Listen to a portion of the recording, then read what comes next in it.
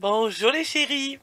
Nous sommes le 1er avril.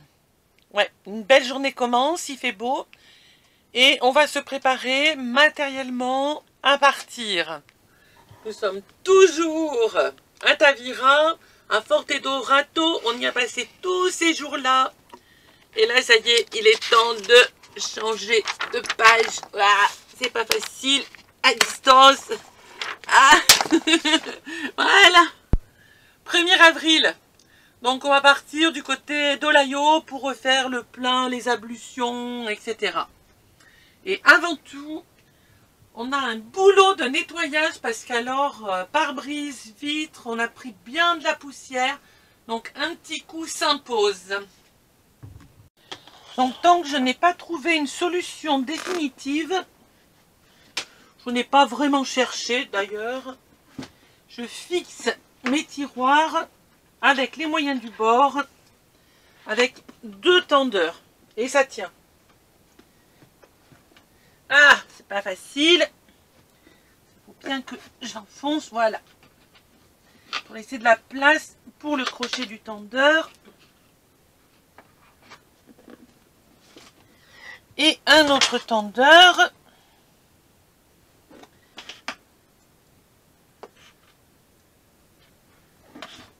Voilà.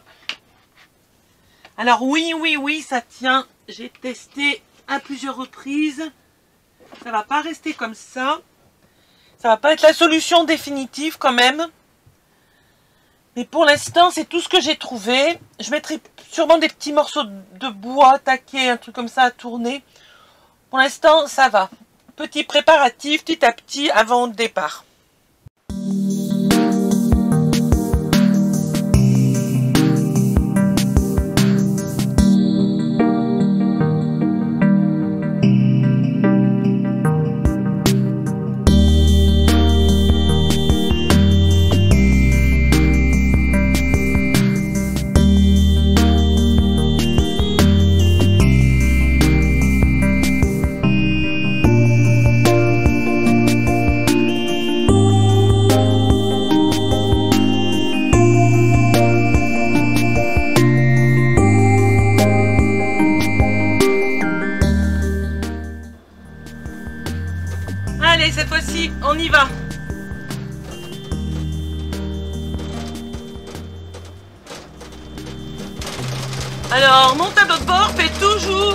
Bruit.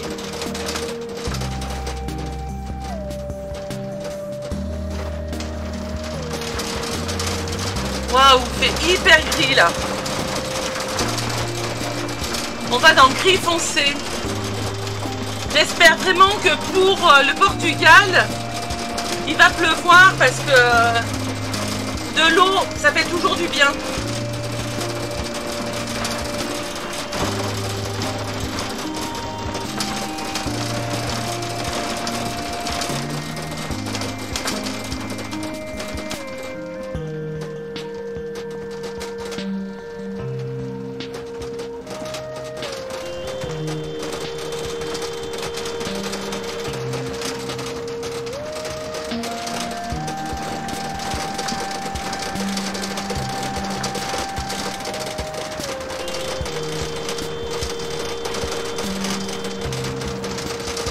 On est arrivé à marée basse et on repart à marée basse.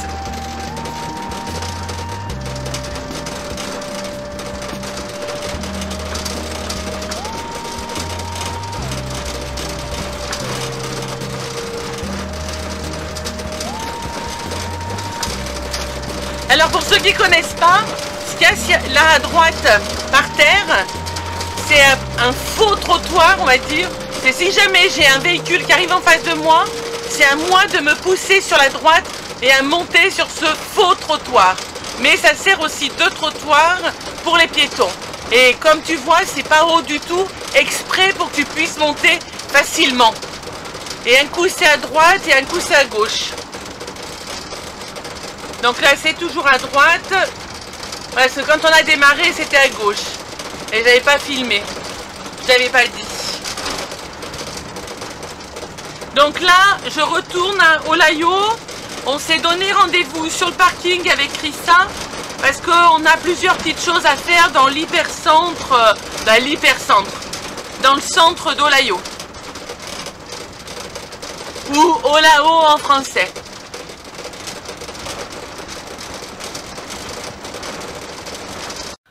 Alors là, nous sommes au cœur d'Olayo, sur un parking. Ah, vraiment le parking, hein, parce qu'il y a plein, plein, plein de, de camping-cars. Il y en a vraiment de partout. Ah, Macrissa, il y en a de partout des camping-cars Oh là là. Et toi, tu prends une photo Je prends une photo de euh, bien encadré de deux rapidos. Ah oui, ça c'est vrai que je suis encadrée de deux rapidos là. Ouais, ouais, Ah, je suis ouais. bien. Mais bien crado en tout cas, toutes les deux crado. hein. Purée, t'as vu ça dans le rétro à, gauche là? Mais Oui. c'est jaune quoi. Oui, ils sont plus blancs, ils sont jaunes, ocre. Quand tu, quand tu le vois comme ça de côté, euh, ça se voit pas, mais ça se voit surtout quand vraiment. Oui. dans le rétro. Dans le rétro, il est ocre. Bon, allez, on y va. Donc, on doit aller à la poste, on doit aller à la pharmacie. Et puis, on verra si on a envie de faire autre chose. Et après, on s'en va. Donc là, on est juste à côté d'une école. Quand je suis arrivée, il y avait des enfants qui y allaient, qui venaient. Et ça construit.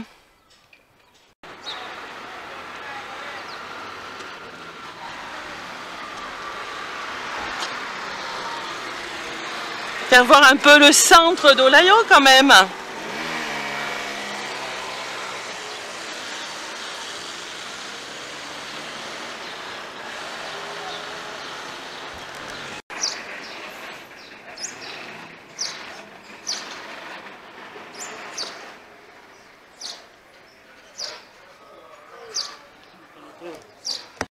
Belle petite ruelle à droite là. Le bleu et le blanc, ça c'est typiquement portugais. Vous trouvez ça dans tout le pays, Ouais. là.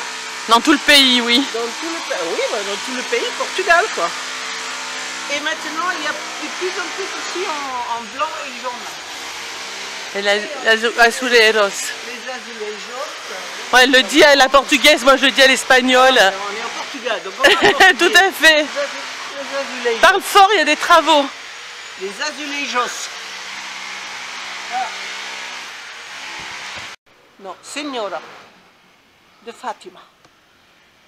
Regarde le petit là.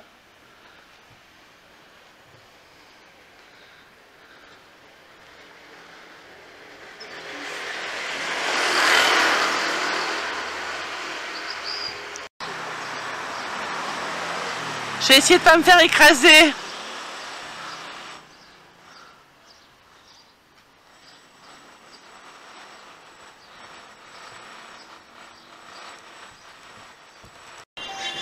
Et voilà, au centre-ville, nous tombons sur un visage juste à côté de bureau de poste.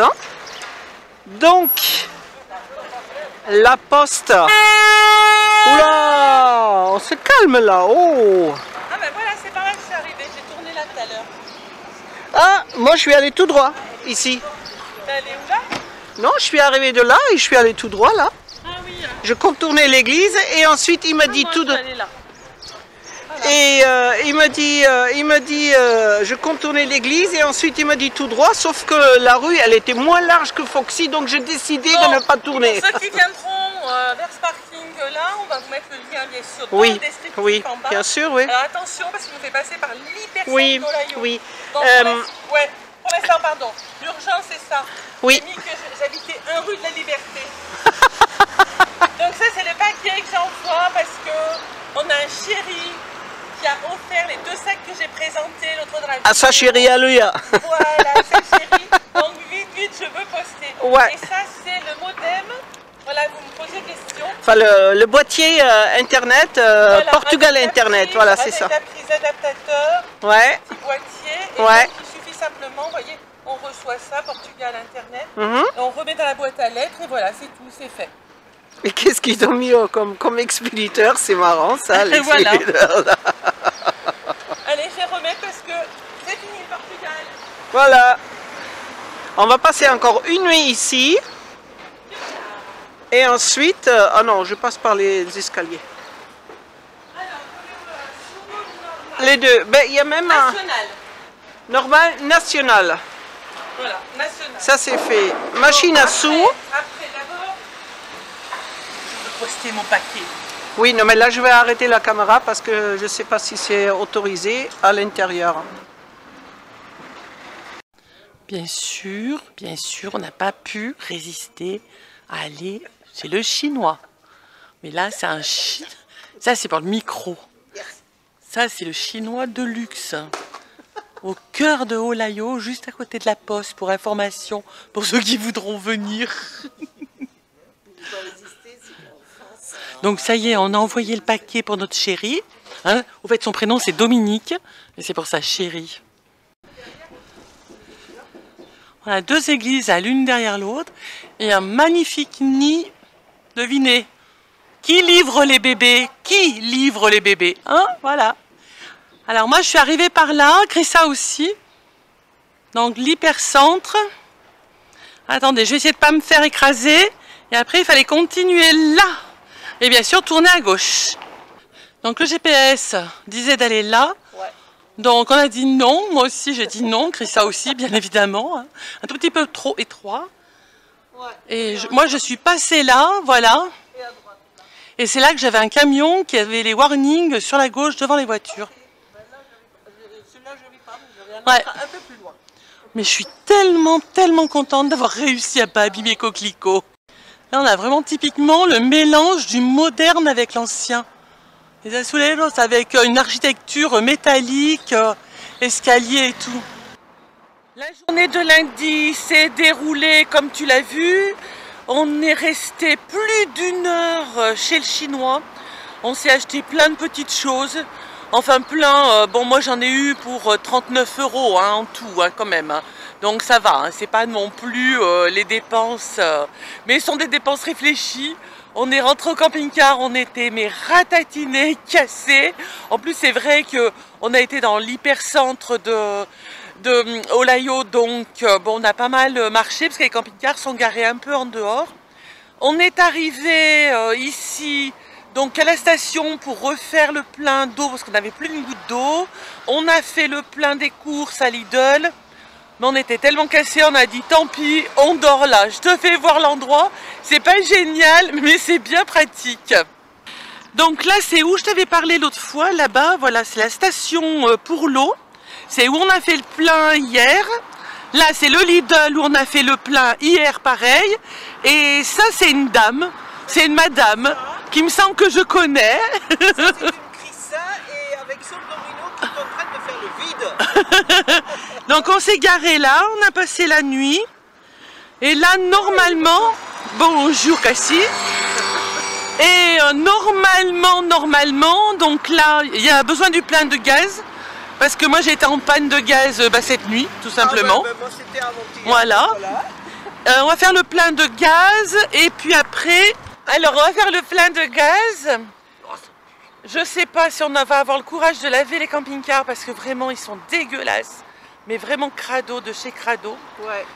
C'est un peu compliqué pour moi, il va falloir passer par le lanterneau pour le panneau solaire, etc. Je sais pas. Mais en tout cas, aujourd'hui, la route pour l'Espagne. Oui. J'ai déjà repéré euh, un parking où T'as on déjà devrait, repéré la être route bien, euh, on devrait être bien placé au bord de l'eau. T'as réparé la euh, route. C'est ouais. chouette ça. Ouais. Bon, tu sais, c'est la même. hein. Alors, euh, Ah, cette fois-ci, euh, on va être obligé de prendre l'autoroute. C'est l'autoroute gratuite entre euh, Oui. le Portugal et Oui. l'Espagne. Oui. Comme c'est obligé de passer par cette route, c'est normal que ce soit gratuit quand même. hein. Forcément. Il n'y a Voilà. pas d'autre route. Sinon, il faut faire, je sais pas, une centaine de kilomètres plus Exactement. vers le nord ou même plus pour trouver un Ouais. autre pont pour traverser. Parce que le bac entre euh, Villa, c'est, je crois que c'est Villarreal de Santo Antonio. Ouais, c'est un bac et à passer. C'est un bac. C'est crois terminé. qu'il n'existe plus. Voilà, c'est terminé. C'est peut-être Ouais. euh, folklore, c'est tout. C'est peut-être que euh, Voilà. ça existe encore, mais je crois que pour les piétons. Bon, je vais vous faire un mini mini haul course. Je vais vous faire voir Ah oui. du chorizo, comment je le fais. Je vais pas vous faire voir toutes les courses que j'ai fait à Lidl, c'est inintéressant. Mais je vais vous faire voir quand même ça, parce que je me rends compte que les Français, ils n'ont pas trop l'idée de cuisiner le chorizo. Et le Non. chorizo espagnol n'est pas le même que le portugais. Non, le portugais, C'est pas le faire pareil, ouais. Parce que, parce que Je vais vous faire voir ça tout voilà. de suite. Faut le faire il faut le faire revenir à Voilà. la poêle, sinon c'est pas bon. Ah, il y a du monde qui arrive pour Lidl. En tout cas, l'avantage de Lidl, l'avantage de Lidl, c'est que ce matin, je suis allée m'acheter un petit croissant et je me suis régalée avec ma chicorée, non, mon orge café et mon croissant. Ouais. Bon, allez, je vous fais voir mon mini, mini, mini haul course. Ça y est, on est chez moi en tête à tête et je vais te faire voir simplement un tout petit, petit truc. Pardon pour aujourd'hui, je suis un petit peu fatiguée, c'est normal de piétiner pendant des heures hier. Bah oui, là, je se fait sentir. Et le lendemain, un petit peu fatiguée quand même. Non mais j'ai trop piétiné. Allez, dans un magasin avec Chrissa, je sais pas, je crois qu'elle a un détecteur automatique. Elle détecte les magasins, les chinois, mais à 3-4 km à la ronde. Je pense qu'elle doit avoir un radar automatique, cette fille. Mais après, on y reste au moins, au moins. C'est vrai que j'ai pas exagéré, du coup, je regardais, on a dû rester au moins une heure et demie, voire presque deux heures. Non mais, c'est de la folie. Alors voilà mon mini mini haul course. C'est simplement du chorizo que j'ai acheté à Lidl. Il n'y a que à Lidl que je le trouve. Voilà, chorizo courant, hein, corrente, de porc. Ça se vend par 10. Alors tu vas me dire, waouh, mais tu as tout mangé, tout. Non, non, non, non. Je n'ai pas tout mangé, du moins pas en une seule fois, heureusement. Je vais ouvrir, je vais les séparer là, et je vais congeler séparément. Voilà, comme ça je fais un chorizo de temps en temps. Et je me suis acheté cette poêle à 8,92€ chez le chinois. Donc, le chorizo portugais, il vaut mieux le faire cuire. Alors, tu peux le faire bouillir, hein, bien évidemment, mais pour moi, le mieux, c'est que tu entailles un petit peu la peau, tu enlèves la peau, tu coupes en rondelles tout ton chorizo, tu le mets à la poêle, bien évidemment, pas de gras, rien du tout.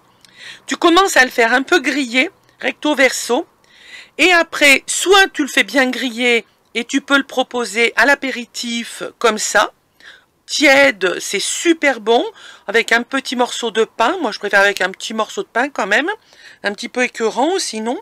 Ou alors, tu continues à le faire griller. Tu peux mettre des légumes, tu peux mettre des haricots rouges que tu as fait euh, cuire euh, auparavant hein, à la cocotte minute. Tu peux mettre du riz, du riz avec des petits légumes aussi. Tu peux mettre des petits pois, tu peux mettre n'importe quoi. Tu mets du, riz cru, qui tu recouvres d'eau, tu recouvres un peu d'ail aussi, tu mets un peu d'ail si tu veux, et tu fais cuire comme ça, et ça te fait du, du riz au chorizo, et c'est très bon, très simple. Donc n'oublie pas, le chorizo portugais, il faut vraiment le faire cuire, ça te fait une base avec un bon goût déjà pour démarrer.